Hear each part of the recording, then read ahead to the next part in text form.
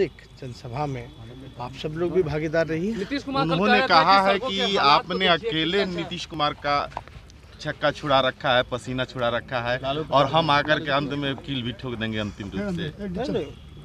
आप पर एकदम पूरा भरोसा से- सत्तर से चालीस आ ना गए तो आ ही गए इसमें किसी से छुपा थोड़ी ना तीसरी नंबर की पार्टी है ना भाई। ये छुपा हुआ है ये तो सब देख ही रहे हैं। विधानसभा में कोई जवाब कहाँ रहता है इनको? हाँ कई बार हम आमने सामने हुए हैं जो बहस हुए हैं जिन सवालों को जिन बातों को हमने रखा है नीतीश कुमार जी के पास तो कभी कोई जवाब रहा ही नहीं। आप मेरा पहला भाषण अगर आप याद करें एज अ नेता प्रतिपक्ष तो जो बातें हमने कही थी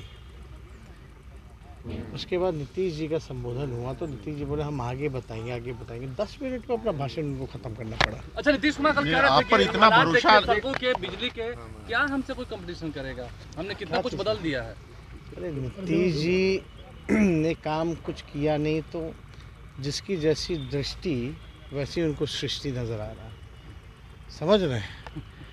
भाई कभी जाके बोले, इतना महँगाई आज तक नहीं रहा, इतना बेरोजगारी अब तक नहीं रहा। कुशेश्वर स्थान में झूठ बोल करके आए कहीं सड़क है ही नहीं भाई। अभी वीडियो हम रिलीज़ करेंगे, मेरा हेलीपैड जो है कैसे कैसे अलग है, पानी में से फिर हम लोग जो है मंच पे जा रहे हैं, रिलीज़ करेंगे, दिखाएँगे। और जो एक स्कूल है, बोलते कि बारहवीं तक की पढ़ाई कराई जा रही है। आज तक बारहवीं तक की कोई क्लास ही नहीं हुआ रखी गई। केवल पेपर पे, केवल भ्रष्टाचार केवल लूट, अपराध बढ़ा। हमने तो कई बार बजट सेशन में हमने विस्तार रूप से कंपेयर किया 1990 से लेकर 2005 का और 5 से लेकर के आपका 18 तक का। तो कोई जवाब तो मिला नहीं। हालाँकि नीतीश कुमार जी तो देश के सबसे शर्मीले मुख्यमंत्री हैं।